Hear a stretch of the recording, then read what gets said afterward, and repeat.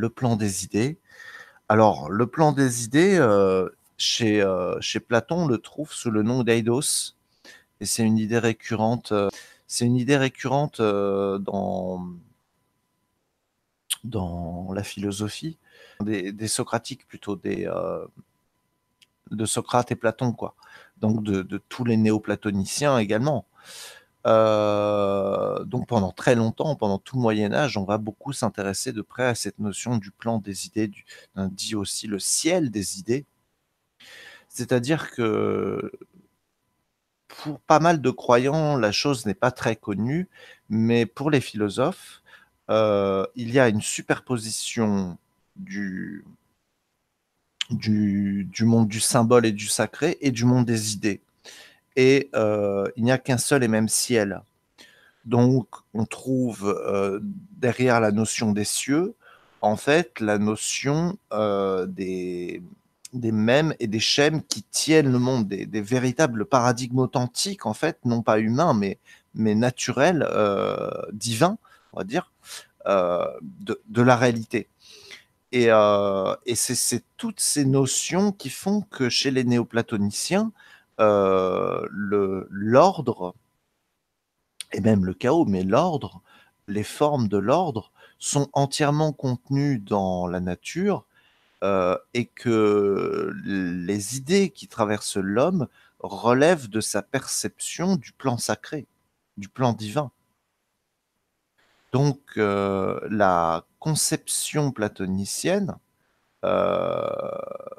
nous explique de manière un petit peu simple que euh, une fois débarrassé des illusions et ayant atteint le ciel des idées, comme si le processus n'était pas euh, de décanter progressivement les idées pour en, écarter les illusions au fur et à mesure, mais d'après Platon, une fois qu'on a écarté les illusions grossièrement et qu'on a atteint au ciel des idées, on atteint des vérités euh, immanentes qui sont donc euh, de nature à nous révéler ce qui, dans le cadre du réel, fonctionne ou ne fonctionne pas, et euh, nous permet de prendre la maîtrise de notre vie et également de la justifier à travers un sens inné en fait de la nature, c'est-à-dire que la nature serait de manière innée vouée à l'ordre par le principe des réalités subtiles du plan des idées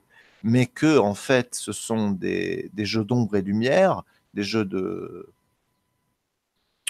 si on veut, de des opérations chimiques, on va dire, qui sont de nature à altérer l'expérience et à faire que cette lumière, cet ordre originel, euh, soit décliné sous des formes euh, qui créent de l'altérité et qui créent donc des rapports de force et qui créent également euh, des, des un système d'entropie qui, va vers l'extinction en fait du vivant. Euh, et donc, euh, c'est ce qui nous rattache au monde des illusions. En fait, on peut rattacher illusion, entropie et euh, chimie finalement, ou altérité. C'est-à-dire la, le les processus, l'ensemble des processus qui concernent la rencontre entre des phénomènes différents. Euh, des gaz, des liquides, etc. Et tout ce qui peut, tout ce que ça peut entraîner, la rencontre de l'altérité. Donc, ce serait euh, partir du principe que le ciel des idées est lui unifié, est un champ unifié dans lequel euh, tout est cohérent dans ce champ-là. Dans ce champ-là, tout est cohérent. transposé en image dans le monde matériel, ça peut créer des incohérences et des, bizarreries, mais dans le monde du ciel des idées, tout est cohérent.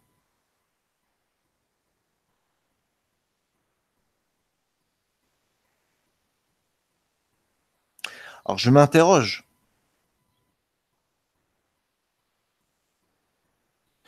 Euh, en fait, on peut dire que les, philosophes ont une conception euh, plus aboutie des notions connues dans la mystique euh, soufie, par exemple, euh, que ne l'ont les soufis eux-mêmes au travers de leurs pratiques, parce que les philosophes touchent à l'essentiel, ils vont droit au but, ils vont dans la conscience, ils vont dans les notions, et ils travaillent avec les notions.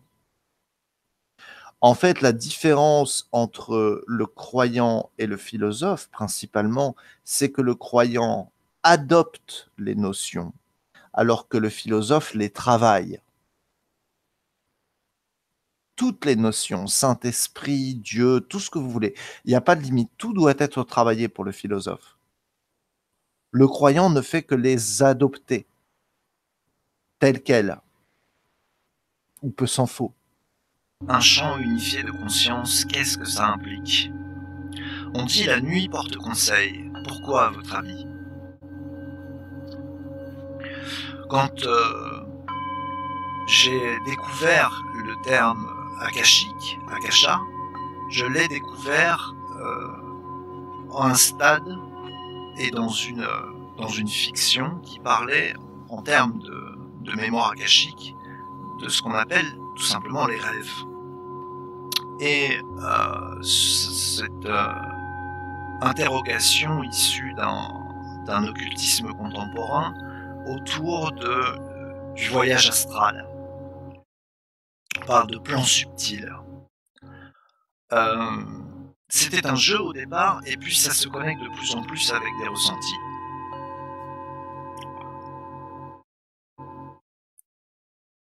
Je pense qu'en effet, dans le rêve, et même dans le rêve éveillé, nous faisons, euh, nous emmenons notre conscience dans un voyage astral, et nous observons avec ubiquité. Nous observons à travers les yeux des, participants, euh, des acteurs, des, humains, euh, qui, euh, ailleurs sur le globe, font quelque chose et nous y assistons réellement. C'est ce qui fait que l'intuition est plus que de l'intuition, c'est une capacité de la conscience à voyager à travers les autres consciences par intrication quantique.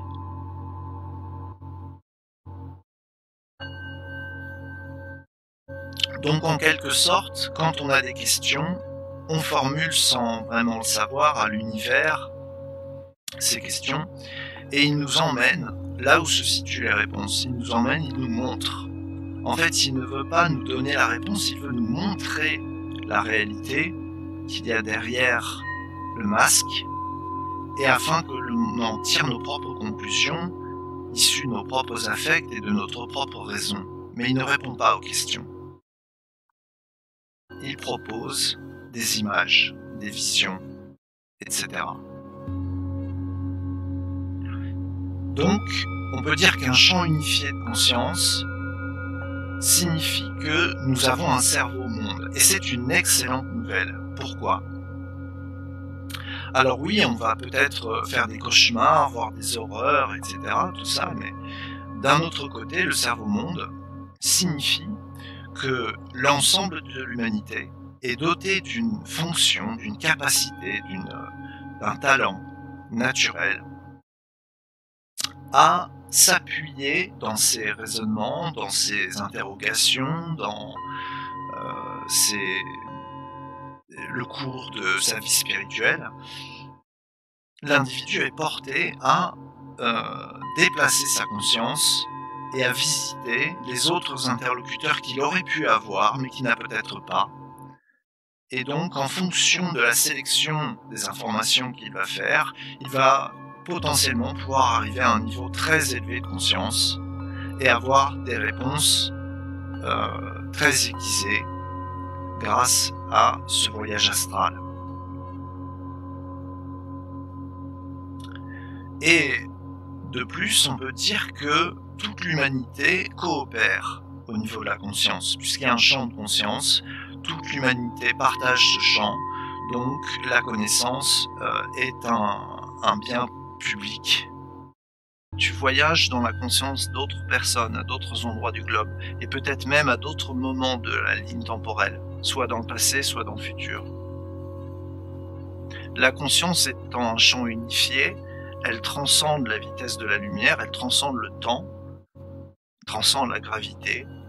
Et donc on peut y avoir euh, des pouvoirs, euh, on peut imaginer euh, tout un tas de scénarios alternatifs basés sur les fictions qu'on a pu lire et on peut on peut visiter des mondes entièrement éthérés, entièrement composés par l'inconscient collectif, et on peut aussi contacter le, réel, le concret, à distance, soit dans le temps, soit dans l'espace. On peut rentrer en contact avec son soi du passé, son soi du futur, on peut rentrer en contact avec euh, des personnes avec lesquelles on a un lien euh, directement. Le fait même de regarder une vidéo de quelqu'un suffit à avoir ce lien. C'est tout à fait possible. Donc, à moins d'une erreur unanime, le cerveau-monde fait que on apporte euh, les vérités les plus attestées au cerveau comme point d'observation, euh, comme, comme panorama du moins. Et il appartient à l'individu de se positionner en valeur euh, pour déterminer comment il reçoit cela et ce qu'il va en faire. C'est comme un, cadeau, un présent, quelque chose qui nous est donné et à nous de le transmuter, de le transformer, de, le, transcender, tout simplement le transcender et de, de grandir à travers cette expérience de la conscience. Alors bien évidemment, j'ai entendu parler de, de choses qui seraient des déjà-vus et qui expliqueraient euh, scientifiquement par le cerveau euh, les raisons pour lesquelles on a une sensation déjà-vu. Et je n'y crois pas. Je n'y crois pas parce que euh, j'ai le témoignage, ne serait-ce qu'aujourd'hui au téléphone, d'un contact qui m'a raconté comme quoi elle avait clairement vu les scènes qui étaient, euh, qui étaient une, une, trahison de la part de, de quelqu'un qui était auprès d'elle, et euh, elle y a assisté euh, à distance. Et euh, en vérifiant, elle a fini par trouver les preuves. Elle a fini par trouver les preuves et la personne a fini par avouer que c'était la vérité.